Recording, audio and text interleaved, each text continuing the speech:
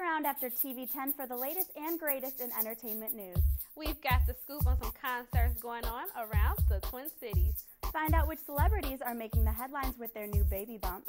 And see what local farm has some Halloween spookiness in their backyard. And just like every week, we'll get you caught up on your reality TV. All this and more coming up on 10 on 10.